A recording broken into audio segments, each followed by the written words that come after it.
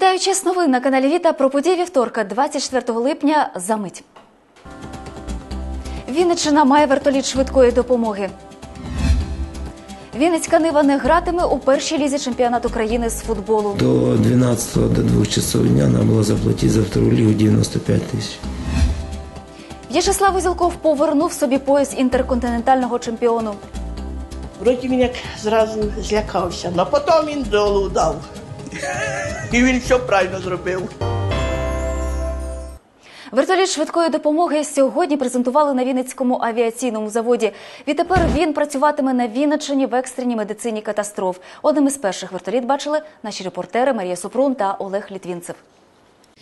Цей вертоліт Мі-2 працюватиме у Вінницькій області на медицину екстрену. Тобто, якщо у Вінниці стається якась страшна аварія, людей зможуть швидко доставити на цьому апараті до найближчої лікарні.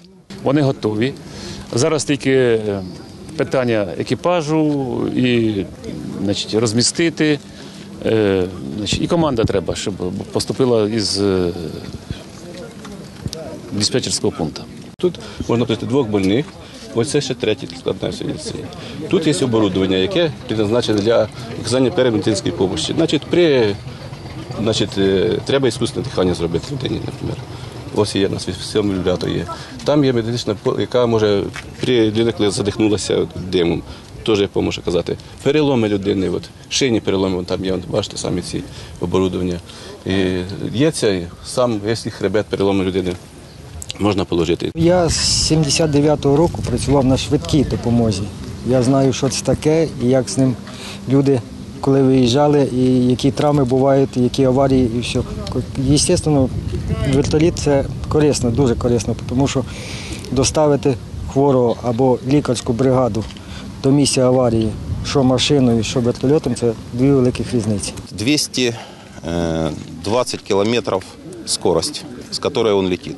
Он может сесть на любую площадку с подбора. То есть вертолет зависает на полтора метра над площадкой, смотрит, может ли он сесть, и он осуществляет посадку.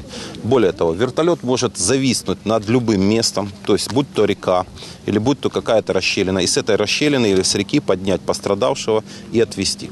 То есть для вертолета не существует ни пробок, ничего. То есть он летит прямо напрямую. Вертольот е, використовується в основному многофункціональний він. Його можна використовувати і для пасажирських перельотів, і для цих санітарних. Оцей він варіант, от це санітарний варіант. Він може оказувати допомогу больним. е, Ну, в область, в принципі, можна захопити повністю. Плюс до Ямполя, до Могильова, до Бершаді він сідає туди і обранно і забирає больного. Сідати він може в будь-якій точці е, значить, е, підібраної площадки. Зараз тут питання про площадку.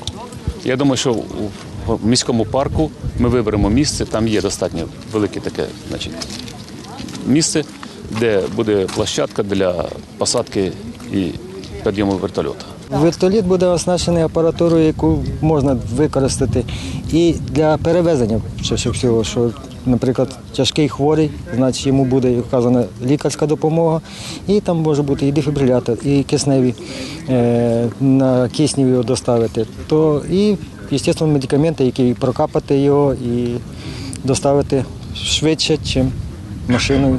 Ми сьогодні показуємо приклад всій країні. У нас вже є санавіація, у нас є тепер е, вертольот для медицини катастроф.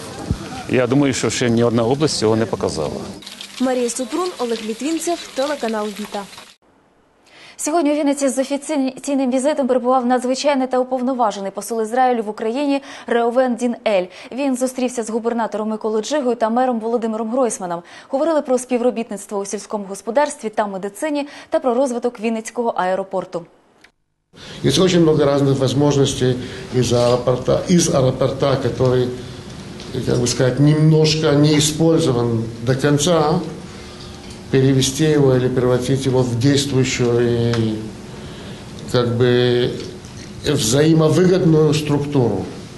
Мы еще обсудим это не один раз, это решение не сегодня, на завтра. Это многоэтапное решение, это финансово очень емкое решение, но будем решать. Саме головне в питаннях аеропорта це налагодити авіасполучення е, між е, містами. Як приклад, ми бачимо, що це може бути Вінниця та Тель-Авів, тому що навіть з Києва е, ну, дуже багато бортів кожного дня вилітають в напрямок Тель-Авіву. І ми вважаємо, що розміщення аеропорту Вінницького аеропорту е, саме в Вінницькій області, Вінниці е, може мати певну перевагу щодо е, такого сполучення. І нам потрібен партнер, який міг би е, володіти своїми повітряними суднами і забезпечити е, сполучення в цьому напрямку. 5 кілограмів золота вилучили митники в Могилів-Подільському. Про це повідомляє прес-служба Вінницької митниці. Золото намагався провести через кордон в господарській сумці водій рейсового автобуса Кишиньов-Москва. Зараз ви бачите золото, яке конфіскували митники. Тут близько двох тисяч виробів на суму понад мільйон гривень. Це каблучки, ланцюжки, браслети та підвіски.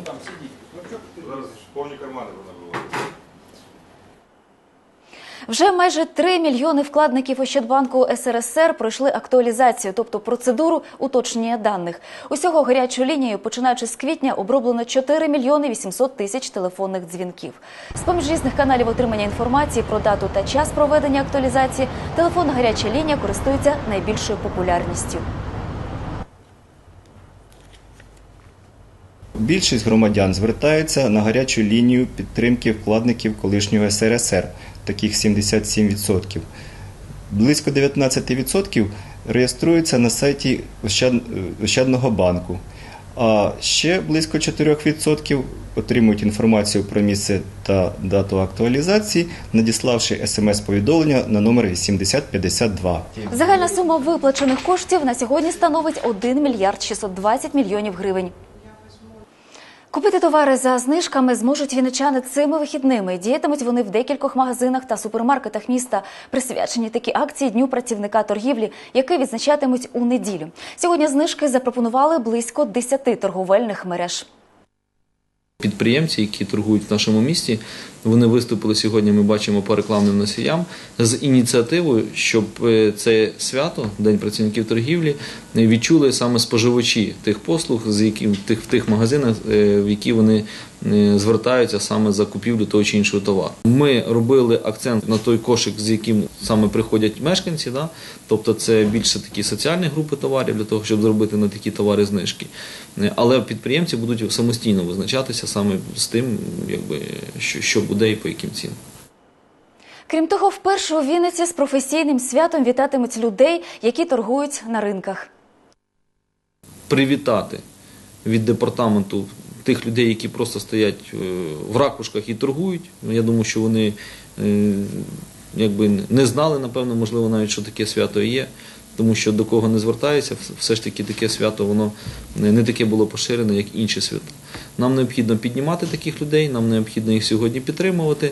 Е, І з адміністрації ринків ми саме хочемо привітати людей, які торгують на ринках.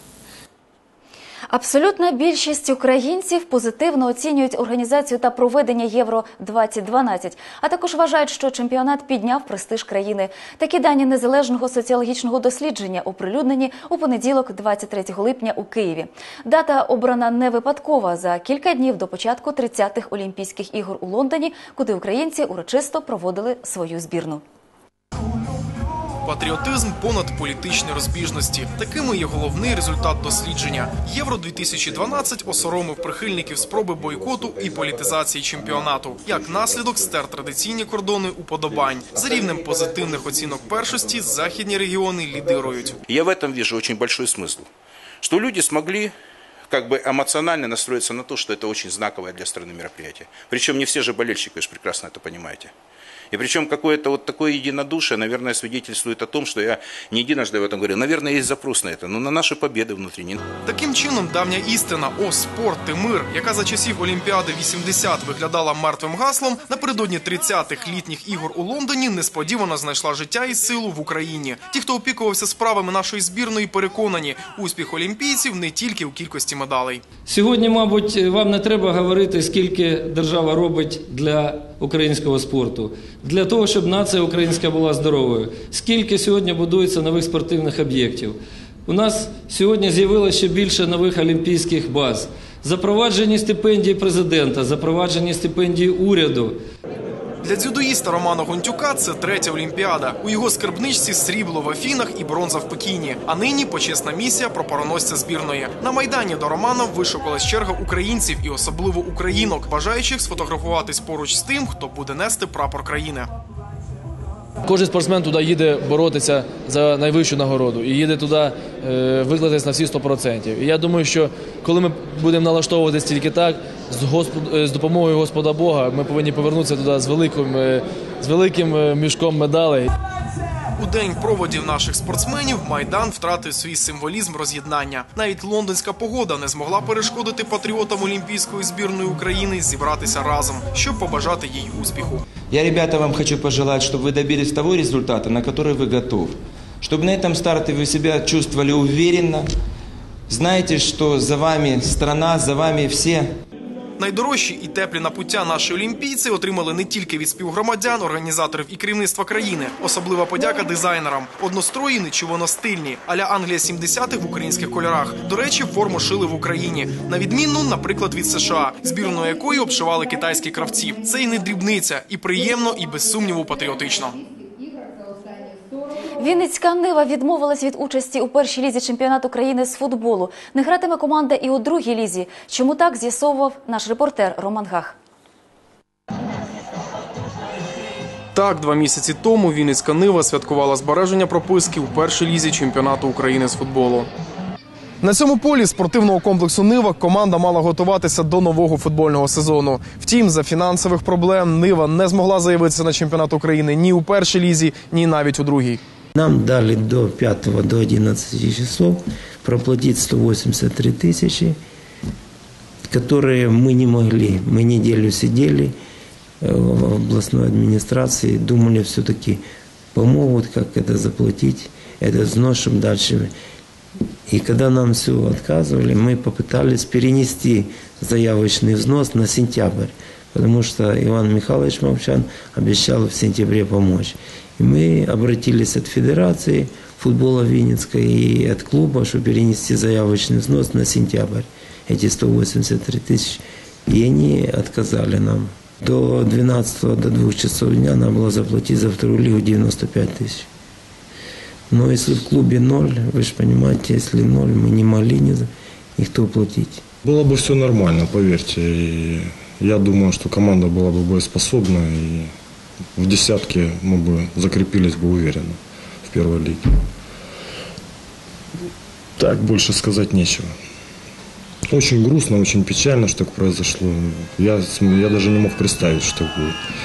А наоборот, после окончания сезона была какая-то легкая эйфория. Были рады, счастливы, довольны, что все-таки выполнили сложную задачу. И все засыпалось в один день.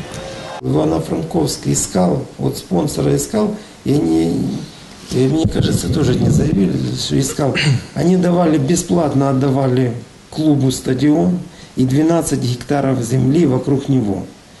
И искали спонсора на эти вот заманчивое предложение, искали. И они хотели, чтобы спонсор дал 51 миллион. Сразу, чтобы они говорят, что мы знали, что команда будет жить не один год. И они становилась мэрия 35% учредителями клуба, а инвестор, который внесет 51 миллион, будет э, 65% иметь.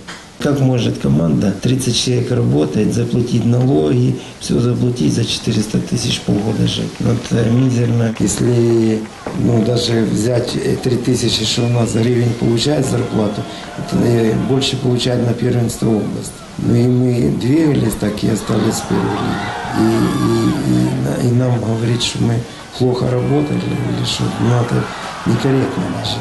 Зараз у команді думають над тим, як зберегти дитячу юнацьку спортивну школу. В ближайшие там, несколько дней попытаемся все-таки как-то найти финансирование школы и сохранить школу. Потому что имидж школы все-таки в области, в Украине создался неплохой. И дети не виноваты. Футбольний клуб Нива Вінниця було засновано 54 роки тому. За часів незалежності команда 5 сезонів провела у вищій лізі чемпіонату України. В 1996 році пробилась до фіналу Кубку України, де поступилась київському Динамо. В тому ж році Нива представляла нашу державу у європейському турнірі Кубок володарів Кубків. Это был всегда очень одаренный, перспективный коллектив, который добивался всегда максимальных результатов, Поставленной цели и задач, которые стояли перед этим клубом. Еще раз повторю, что это большая потеря для нашего футбола. Потому нужно делать все возможное для того, чтобы местные спортивные и все остальные организации государственные повернулись лицом и оказали посильную помощь для того, чтобы возродить, сделать так, как это было раньше. И мало того возродить, а еще и примножить те возможности, которыми владела команда Нива. То, что случилось, оно есть уже. И Винница не имеет команды мастеров. Хотелось бы поблагодарить как любители всех футбола, что столько лет они поддерживали, как э, областную администрацию, городскую администрацию и всех бизнесменов. Надо держать кулачки за то, чтобы побыстрее, пускай кто, это, кто бы это ни был, но побыстрее вернуть команду хотя бы во вторую лигу. Это будет очень непросто. Цього року футболісти Ниви гратимуть у аматорській лізі області. Великого ж футболу у Вінниці не буде як мінімум рік. Роман Гах, Михайло Гудзікевич, телеканал Віта. Вінницький боксер В'ячеслав Узілков повернув собі пояс інтерконтинентального чемпіону у напівважкій вазі за версією WBO. Він переміг швейцарця Мохаммеда Белкасима. Бій відбувся 21 липня в Палаці спорту в Одесі. В'ячеслав вже у Вінниці. Сьогодні боксер та його тренер Віталій Вдовкін дали нашому каналу ексклюзивне інтерв'ю. Во-первых, победа. Это уже хорошо. Во-вторых, это у меня пояс, то есть это еще лучше. А в-третьих, что ну, бой тяжелый был, то есть ну, не всегда бывает легких боев, это факт. Бывает и тяжелый, надо выстоять тяжелый, потому что только в тяжелых боях познается чемпионство и хотя бы какие-то действительно те твои качества, которые у тебя не раскрываются в легких боях. Приезжаем туда, нормально все взвешивали, показательная тренировка была, все сделали нормально. В два часа мы с ним пообедали вместе. И что вы думаете? С двух, где-то в де- в 10 часов мы начали разминаться на ринге. Славику плохо, у него рвота, у него, как говорится, расстройство страшное. Я думал, что, может быть, он переживает. Но я говорю, Славик, что будем делать? Он говорит, что будем боксировать. Вроде бы начинали нормально. Мы, вы понимаете, там еще такая, у нас же была своя тактика. Мы его не видали, этого противника, нам же не давали его бои. В интернете их нету. Мы не знали, кто он и что он. Поэтому нам, у нас была задача хотя бы первых два раунда прощупать его. Но нам- мы, поэтому мы не гнали сразу. И это вот прощупывание у нас затянулось до 10 раунда. Попеременно. Он понимает сам, Славик, что мы не лучшим образом провели бой. Но в конце, когда его уже прорвало, 11-12 раундов, конечно, было на что посмотреть. Он его там, конечно, как говорится, с кулака на кулак. В п'ятницю я включаю телевізор, чекаю Узілкова. Вечір Узілкова. Нема. Нема передачі. Дзвоню до своєї подруги, кажу, слухай, та програма є, подивися по програмі, коли бокс. Бо я ж на стадіоні роблю, я хочу бачити свого Узілкова, пацана свого. Вона каже, в суботу. В суботу чекаю суботи. Дочекалася, от, появився мій Узілков. Я дивлюся. І в мене таке враження, що я його тут бачу. Так як я свою мислю висказую. Вроді він як зразу злякався, але потім він долу дав І він все правильно зробив. Потом была пресс-конференция с этим, м, с нашим противником, с его промоутером и с его этой компанией. Был он через задал, э, супервайзер наш, не наш, он европейский, задал вопросы женщине. Вы претензии имеете к э, бою? Он говорит, никаких. Ну, дайте комментатор. Он говорит, вначале было все нормально, а и я, говорит, в конце я проиграл. Это дало свой результат. Говорит, поэтому к руководству, к Узелкову никаких претензий нету. Бой был очень равный, я не скажу, что я выигрывал, но я не скажу, что я проиграл, бой был равный. Вот эти последние раунды, которые действительно я показал те качества, которые во мне есть, они дали возможность выиграть. Восени В'ячеслав Узілков буде захищати вдруге здобутий титул інтерконтинентального чемпіону з боксу за версією WBO, щоб в подальшому претендувати на бій за звання чемпіона світу. Ну а поки боксер готується вдруге стати батьком. Зараз його дружина Марина в пологовому будинку, сім'я чемпіона в очікуванні на народження дівчинки. Олена Гук, Михайло Гудзікевич, телеканал Віта. Таким був інформаційний вівторок. Всі новини доступні в інтернеті. Адреса сайту на екрані. Завтра о 13.40 моя колега Ольга Сольвар розповість про події середи на ту мить. До побачення. Попереду ще прогноз погоди. За прогнозами Вінницького гідрометеоцентру, погода у Вінниці 25 липня буде мінливо хмарною. Без опадів вітер північно-східний 5-10 метрів за секунду. Температура вночі плюс 13, плюс 15. день коливатиметься від 28 до 30 з позначкою плюс.